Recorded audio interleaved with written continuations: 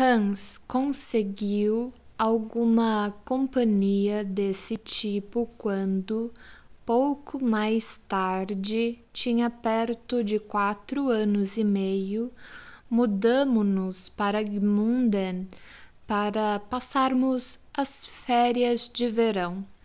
Em nossa casa, lá, seus companheiros eram os filhos do nosso senhorio, Franz, cerca de doze anos, Fritzel, oito, Olga, sete e Berta, cinco. Além deles, havia as filhas do vizinho, Ana, dez, e mais duas outras meninas de nove e sete anos, cujos nomes esqueci. O favorito de Hans era Fritzel, que ele sempre estava abraçando e a quem fazia declarações do seu amor. Certa vez, quando lhe perguntaram das meninas de quem você gosta mais, ele respondeu: Fritzel. Ao mesmo tempo, tratava as meninas de forma muitíssimo agressiva, masculina e arrogante, abraçando-as e beijando-as com sinceridade. Travessão, um procedimento ao qual Berta em particular, não fazia objeção. Certa noite, quando Berta saía da sala, ele lhe pôs os braços ao redor do pescoço e lhe disse com voz muito apaixonada: Berta, você é um amor. A propósito, isso não o impedia de beijar também os outros e de confessar a eles seu amor. Gostava também de Mariette, de 14 anos, outra filha do senhorio que costumava brincar com ele. Uma noite disse quando lhe punham na cama: Quero que Mariette venha dormir comigo.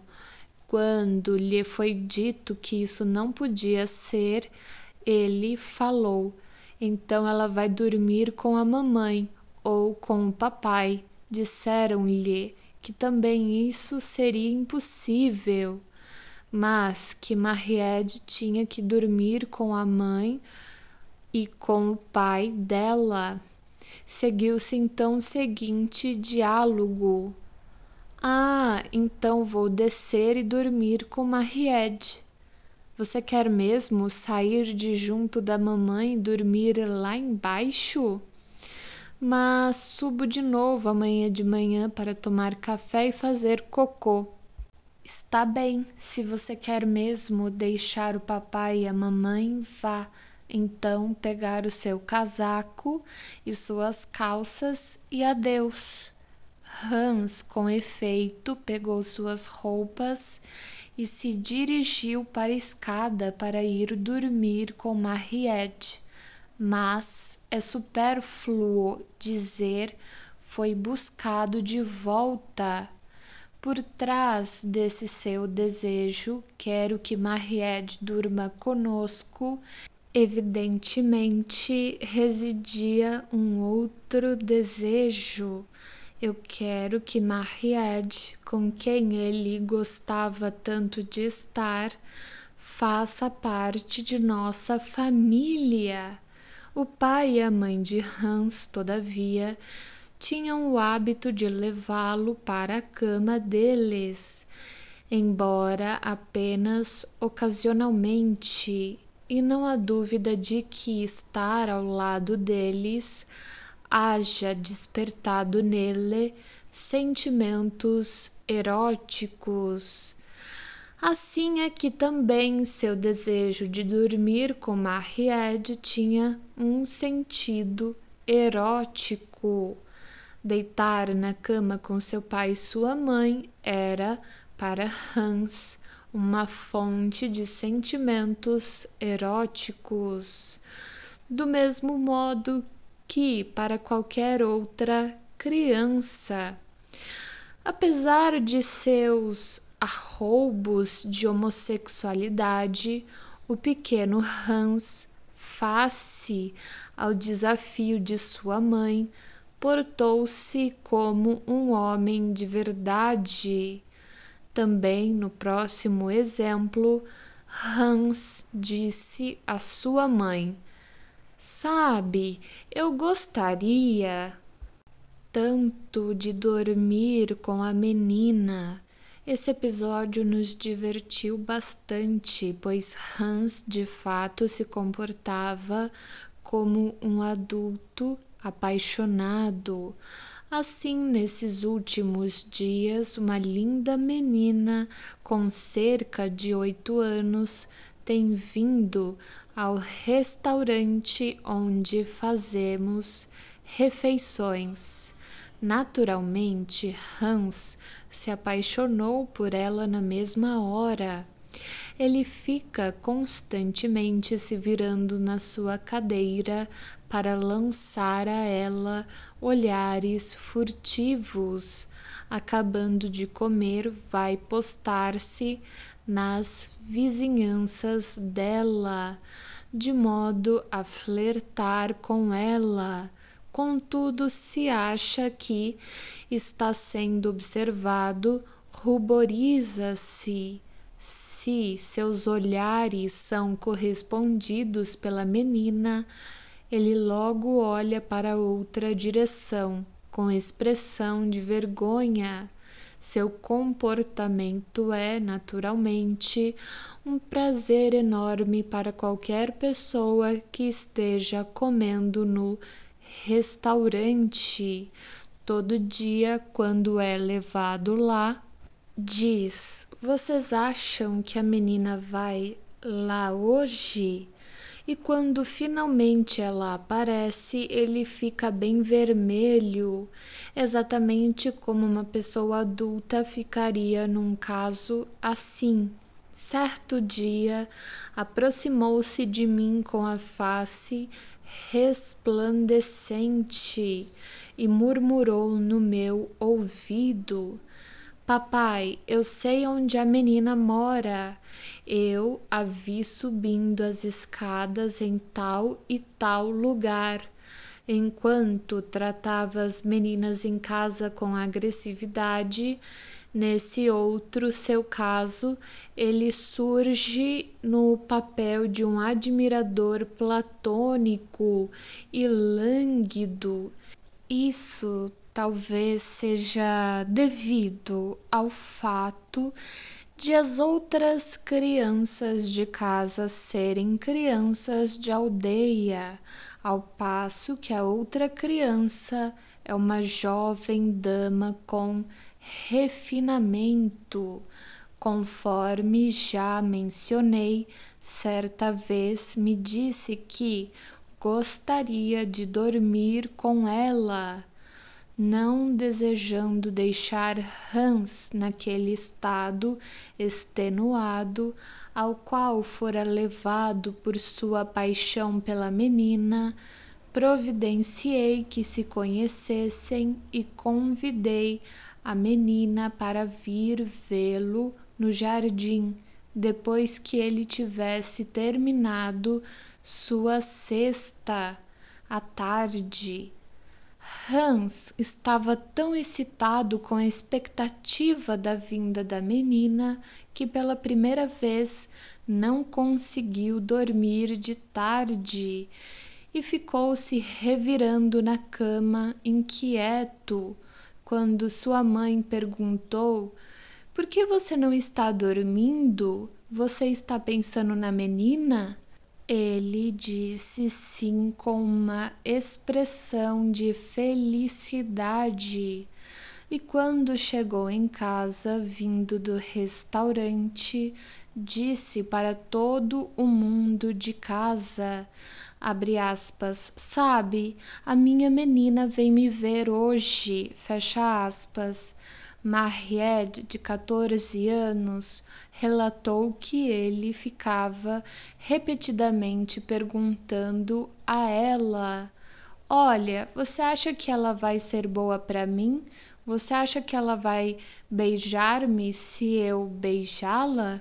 E assim por diante. Mas choveu à tarde, de modo que não se deu a visita e Hans consolou-se com Berta e Olga. Outras observações feitas também na época das férias de verão sugerem que todas as espécies de novos processos evolutivos estavam ocorrendo no menino Hans, quatro anos e três meses. Nessa manhã, a mãe de Hans lhe deu seu banho diário, como de hábito, secando-o e aplicando-lhe talco.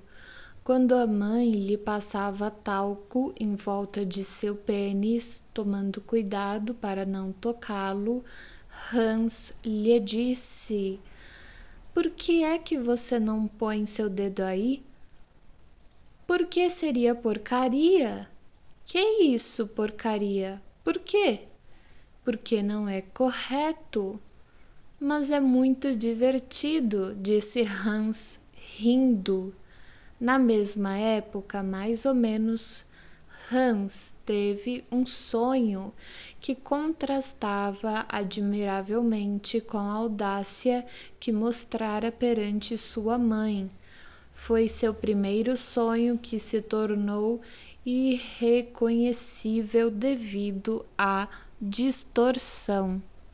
A intervenção de seu pai, contudo, conseguiu elucidá-lo Hans, quatro anos e três meses. Sonho. Nessa manhã, Hans acordou e disse: Sabe, ontem à noite pensei assim. Alguém disse: Quem quer vir até mim? Então alguém disse: Eu quero. Então ele teve que obrigar ele a fazer pipi. Novas perguntas vieram esclarecer que não existia qualquer conteúdo visual nesse sonho, que era do tipo puramente auditivo. Nesses últimos dias, Hans tem brincado com jogos de salão e de cobrar prendas com os filhos do nosso senhorio e entre eles estão suas amigas Olga, sete anos, Berta, cinco anos. O jogo de cobrar prenda é feito da seguinte maneira: A. De quem é a prenda que tenho na minha mão? B. É minha, então se decide o que é que B tem de fazer. O sonho tomou esse jogo como modelo, mas o que Hans queria era que a pessoa a quem pertencia a prenda fosse obrigada não a dar um beijo ou receber um tapa no rosto, como de costume, mas sim a fazer pipi, ou melhor, a ser compelida por outro a fazer pipi. Consegui que ele me contasse de novo seu sonho, repetiu-o com as mesmas palavras, só que em vez de então alguém disse, dessa vez falou. Então ela disse: esse ela era evidentemente Berta ou Olga, uma das meninas com quem ele havia brincado. Traduzindo-o, o sonho era o seguinte: eu estava brincando de cobrar prendas com as meninas. Perguntei: Quem é que quer vir comigo? Ela, Berta ou Olga respondeu: Eu quero. Então ela tem que me obrigar a fazer pipi, isto é, ela tinha que ajudá-lo a urinar, o que é evidentemente agradável para Hans. Claro que ter de fazer pipi tendo alguém que lhe desabotoe a calça e exponha seu pênis é para Hans um processo prazeroso. Quando estão passeando, na maior parte das vezes, quem ajuda Hans é seu pai. Isso dá à criança uma oportunidade para a fixação de inclinações homossexuais na figura paterna. Há dois dias, como já relatei, enquanto sua mãe o lavava e polvilhava seu talco nas partes genitais, ele lhe perguntou: Por que é que você não põe seu dedo aí? Ontem, quando ajudava Hans a urinar, ele pela primeira vez me pediu que o levasse para trás da casa, de modo que ninguém pudesse vê-lo, e acrescentou: No ano passado, quando eu fazia pipi, Berta e Olga estavam me olhando. Creio que isso queria dizer que no ano passado ele sentia prazer em ser observado pelas meninas, mas que agora já não é mais a mesma coisa. Seu exibicionismo sucumbiu à repressão. O fato de o desejo de que Berta e Olga pudessem vê-lo fazer pipi ou o obrigassem a fazer, agora se encontra reprimido. Na vida real, explica seu aparecimento no sonho, disfarçado nitidamente no jogo de cobrar prendas. Desde então, tenho observado repetidamente que Hans não gosta de ser visto fazendo pipi. Acrescentarei apenas que esse sonho obedece à regra que formulei em A Interpretação de Sonhos, 1900, capítulo 6, seção F, 1972 segundo a qual as falas ocorrentes em sonhos são derivadas de falas ouvidas ou expressas pelo sonhador nos dias que precederam ao sonho. O pai de Hans anotou uma outra observação datada do período imediato ao seu regresso para Viena. Hans, quatro anos e meio, estava novamente vendo darem banho em sua irmãzinha e então começou a rir. Ao lhe perguntarem por que ria, respondeu: Estou rindo do pipi de Hannah. Por quê? Porque seu pipi é tão bonito. Naturalmente, sua resposta não era sincera. Na realidade, o pipi dela lhe parecia engraçado. Ademais, foi essa a primeira vez em que Hans reconheceu a diferença entre os genitais masculinos e femininos, em vez de negar sua existência.